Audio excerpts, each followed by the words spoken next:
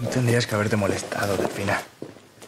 Pero luego me pasaré por tu casa para devolverte la bandeja y, y hablamos.